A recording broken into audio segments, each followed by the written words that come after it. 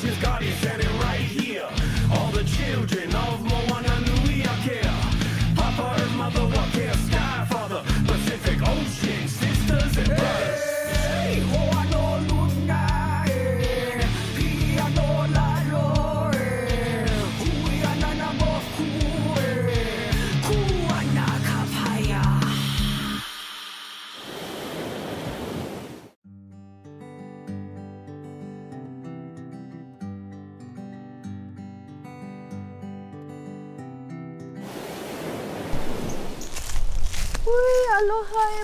pohaku havana vana. I have not seen you for so long.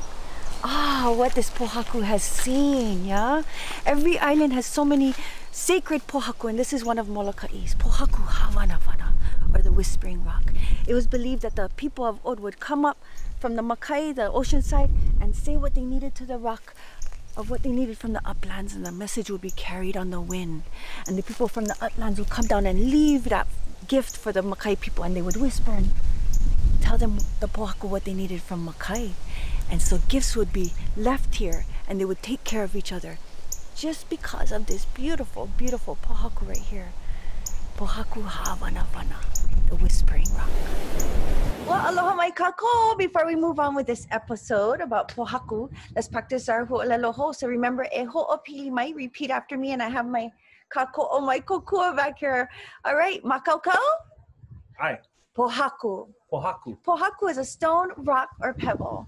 Papahanaumoku. papa hanau. She's the earth mother, the mother of most of the Hawaiian islands, and what we call the earth beneath our feet.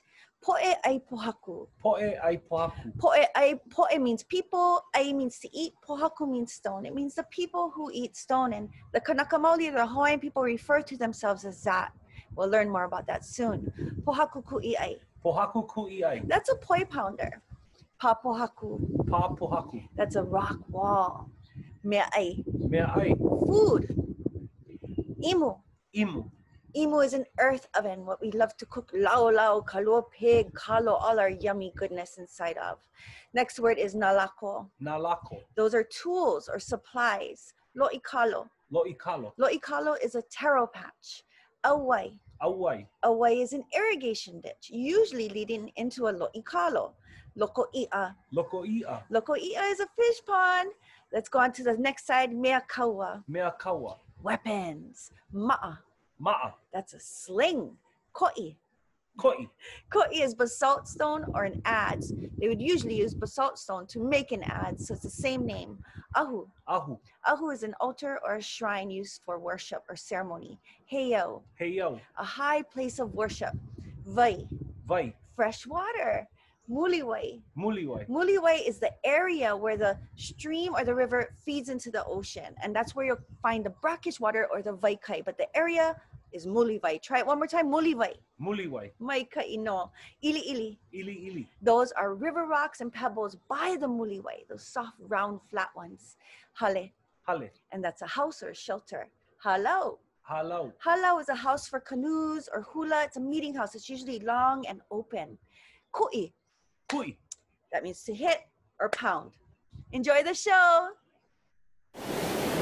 After the overthrow of the Hawaiian Kingdom in 1893, Mrs. Ellen Prendergast wrote the famous song Kaulana Na Pua, formerly known as Mele Aloha Aina, the patriotic song for our imprisoned queen Lili'uokalani. One of the most powerful lines in this song claims, Ua lava mako i ka pohaku, meaning, we are satisfied with the rocks. It was a way of showing resistance towards American rule. However, the new government prohibited the band from playing any Hawaiian music after the overthrow and actually renamed the band the government band. So, upon receiving the song sheet, the band members were given two options by their bandmaster.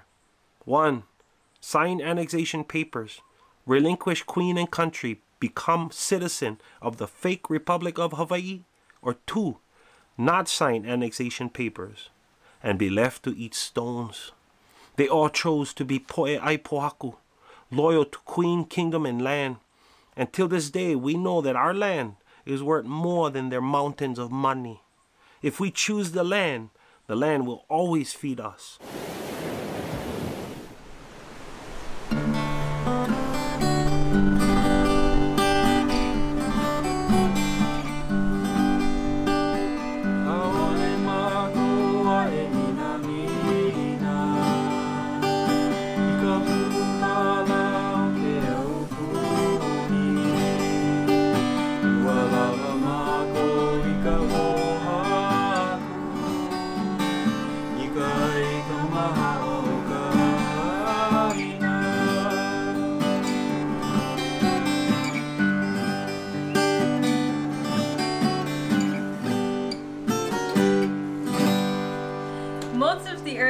Rocks have been here for a really, really, really, really, really long time.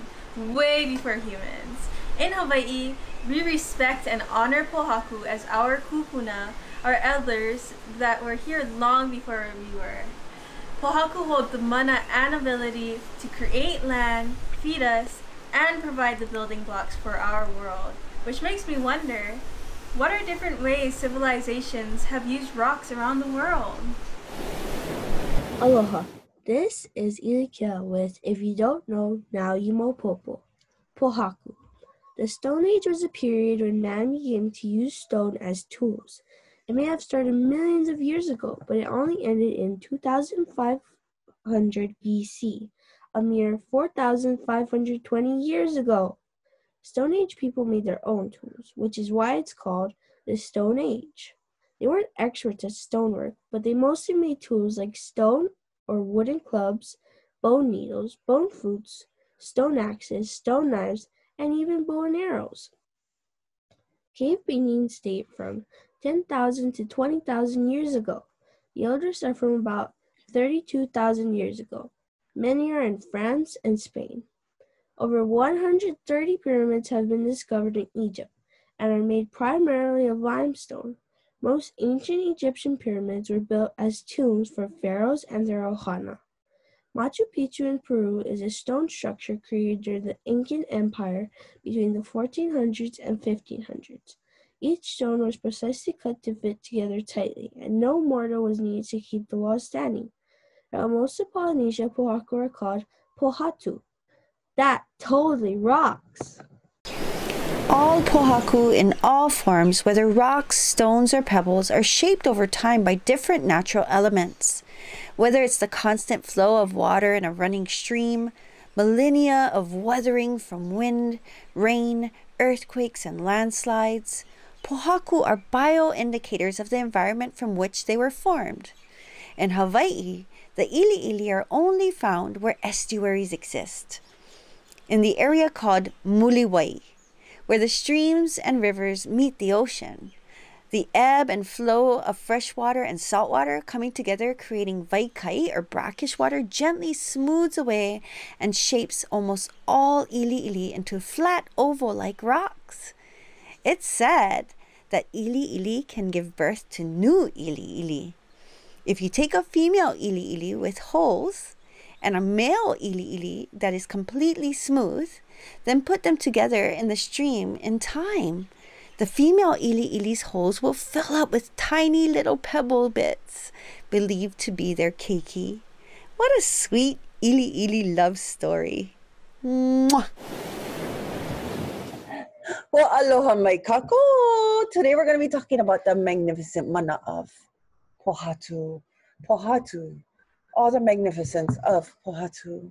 So we re- we just wanted to talk on uh, a little bit about how the Kanaka Maoli or the Hawaiian people use Pohaku in our culture, many different ways. These are the main ways that we use it to make tools or nalako, heiau and ahu, ceremonial structures. We also used it to make nameakaua or weapons, for vai, directing and containing water, also for hale and halau, which are so, like sheltering structures. We used it mostly for the foundation, and then me'ai, our food production, and we used it in our lo'ikalo, our loko i'a, and so many other ways that we're going to talk about.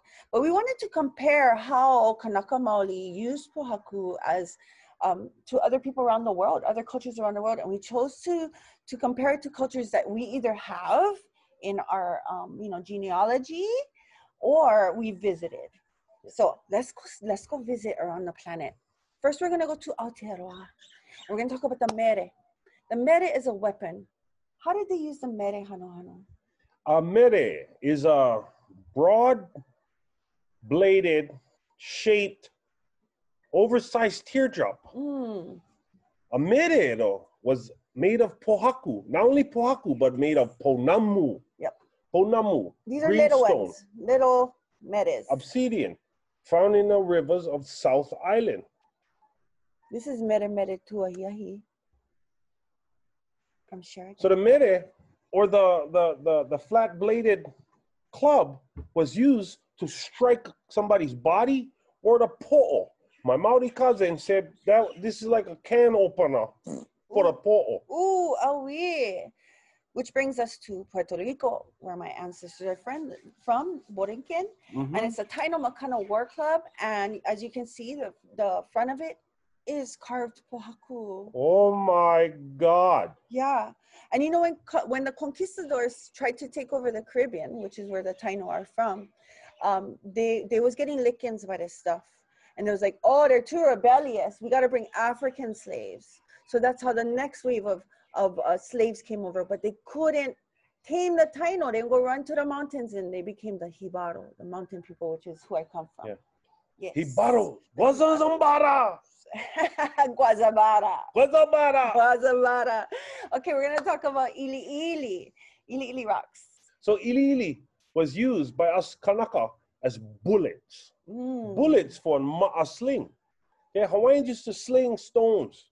I was pretty good at them when I had mine. Yeah. But they used to use ili ili, put them in a sling, and start nailing guys from far distance. Hawaiians went way past that though. Yes. Kamehameha yes, the Great, when he had his cannon, they decided to do something new. Instead of bombing them with one big one, they decided to put plenty Choke ili Ili Choke Ili Ili. wrap them up in Choke, copper, Choke. Like choke. choke, wrap them in copper, and then stick them down the barrel of a Yeah. cannon. Let's watch. Let's watch this animation. Get ready, you guys gonna catch Yeah. them. Maile, get ready, baby. Give them.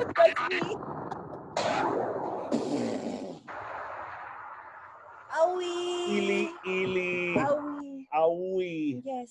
Thank you, baby, for blowing everybody in their face.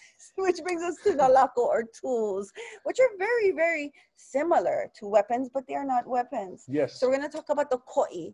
In Aotearoa around the Pacific, some, some cultures call it the toki, and this is one made of pounamu. And this is actually how he proposed to me. Yeah. He gave this to me Yes. from Pop Pops. Uncle Yeah. Louis Pops Moyal. And to all the brothers and titas, yeah, amo, I love you guys. But Pops Moyal, he said, boy, you can use this, this will is koi. And this, you can find your, your new life and you can carve out a new way of life.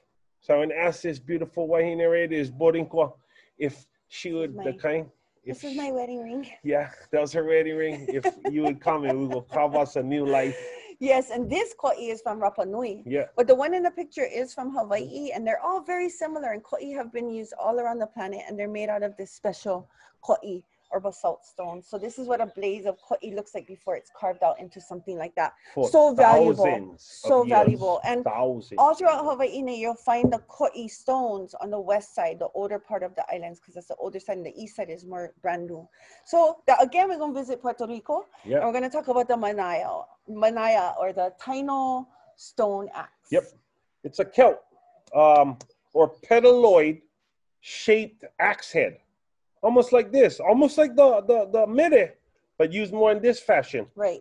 Attached to wood, or like the picture, the whole thing is pohaku. Ooh, Oh, that's mean. I don't want to get hit by that one. No, I know. That's what I mean. Ooh. Like, they're tools and weapons. Yes. So we're gonna co- come to Me'ai. Let's let's be a little bit more zen-like, and let's talk about Me'ai. So pohaku was used all throughout Hawaii to make food. We used it in the fish ponds. We used it in the taro patches. We used it um, to make imu. We also used it to prepare food with the pohaku ku'i'ai. Yep. And a pohaku ku'i'ai was used to pound either ulu or kalo or uala, all of our starches, yeah?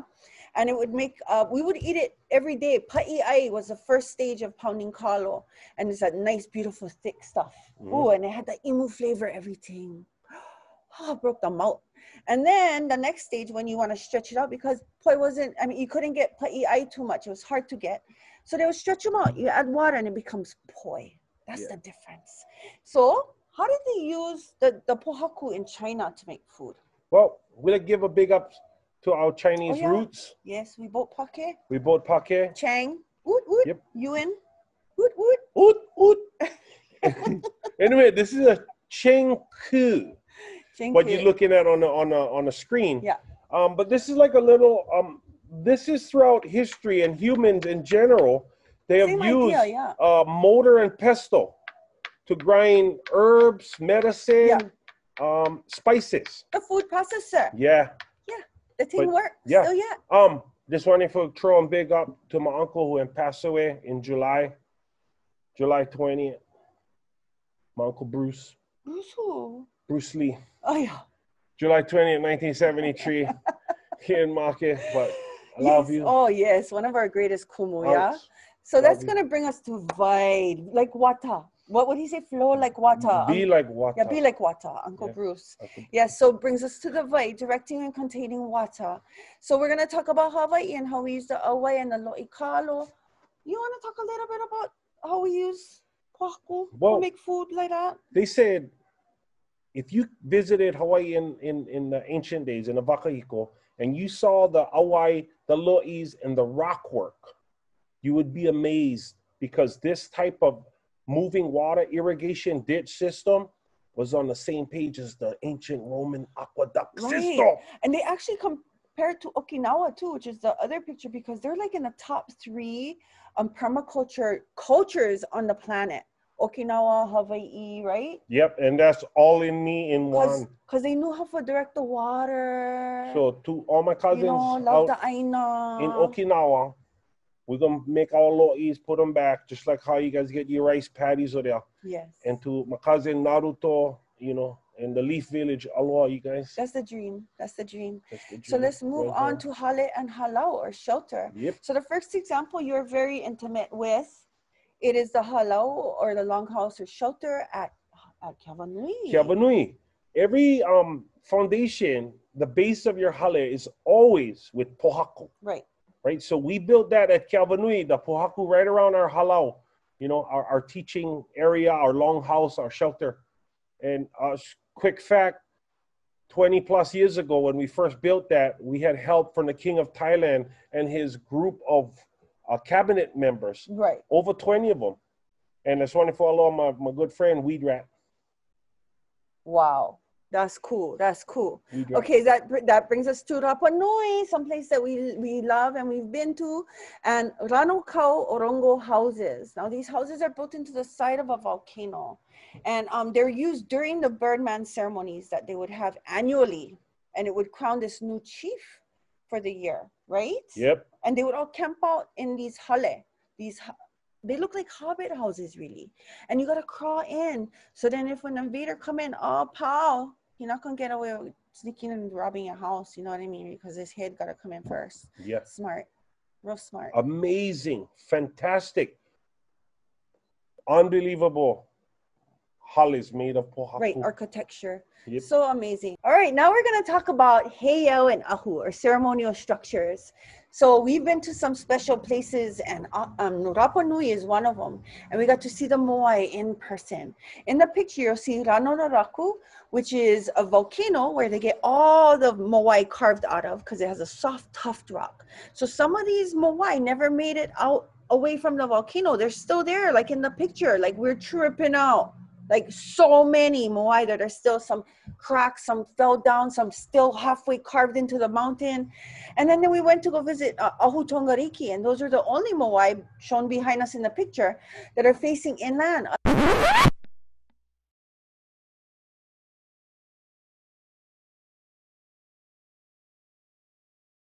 Otherwise they always face out into the ocean. So you want to share some stuff about the moai? The moai are monolithic human carvings um, carved out of tuff stone by our cousins from Rapa Nui uh, in eastern Polynesia between the years 1250 and 1500. Um, these carvings were taken to different ahu or burial sites around the island. Far hundreds, Far away. hundreds. Real far away. These moai are carved actually in the resemblance or in the in in in, in the memory of a kupuna that just passed. Right. So it's like a matriarch or patriarch of the family that they deify or they lift up to like an aumakua status in the Mhm. Hawaiian culture, kind of similar to that. And so the ones that have the red top knot, like my hair is right now, is wahine. Yeah. That's what the, the Rapa Nui people told us. And it's made out of red cinder blocks. So it's a different type of pohaku. So it's tuff for the body and then the red cinder for the, the hair, the lauoho. The greatest kupuna got memorialized in I these in these carvings yeah. of stone. Yes, pohaku. yes. And so that brings us to one of our most kapu places, our most kapu heiau, one of our most kapu heiau in all of Hawaii, Pu'ukohola. And Hano has a very special pilina or connection to Pu'ukohola. Can you share that? So Pu'ukohola um, was built by Kamehameha the Great in 1790, 1791. It was dedicated to the war god Kukailimoku. That's the Ilili Cannon guy. Same guy. Same guy, strategist, warrior. Hi, Yeah, amazing. Amazing. Anyway, this heiau was used to unite the islands. And this heiau, the walls are 16 to 20 feet high. And I actually got a chance to help restore these walls after it got damaged from the earthquake. Right.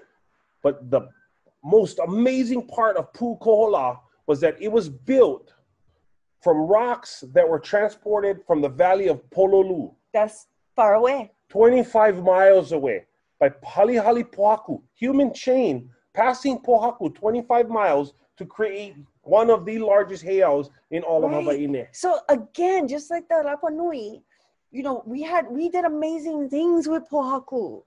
And now you can understand why we believe mana hold they the Pohaku hold mana. They hold mana. Yes. So we have to respect them as such. They give us everything we need to survive. So Pu'ukohola and the hale, they're real similar to how you build the kind of um, fish pond wall, the kuapa, right? Aye.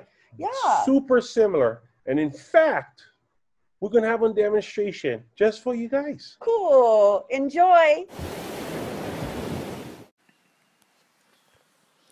How do you sort rocks and build a pa pohaku? Types of pohaku to build a pa. You need ili ili, which are small river rocks and can fit in one hand. You also need haka haka, which are medium sized rocks that can fit in two hands. And last, you need niho, which are huge rocks that usually take a couple people to carry. Once you have those three types of rocks, you're ready to build a pa pohaku. Now we're going to look at how you place the rocks. Let's look at the bottom. It says first, let's put the niho on the bottom. Those are the hugest rocks, so you're going to need a lot of help. Those are all the gray and black rocks on the bottom. Second, put the haka haka on top of the niho. Those are all the brown rocks in the middle, the medium sized rocks. Third, lastly, put the ili ili on top. All the little rocks to fill in all the pukas. You can cover the whole top, and your pa pohaku will be complete. Now we know how to build a pa pohaku for a loko i'a.